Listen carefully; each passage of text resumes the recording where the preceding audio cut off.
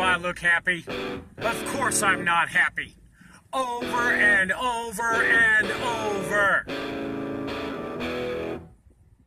It ceases to amaze me. You've got some of the best title material in the United States. And you refuse to give me a shot. I don't even care about the title anymore. Any of you got the guts to sign on the dotted line, itty bitty, here and there, it doesn't matter where you're from. Sign the contract. Dodge City, Kansas. I'm ready for battle. Are you?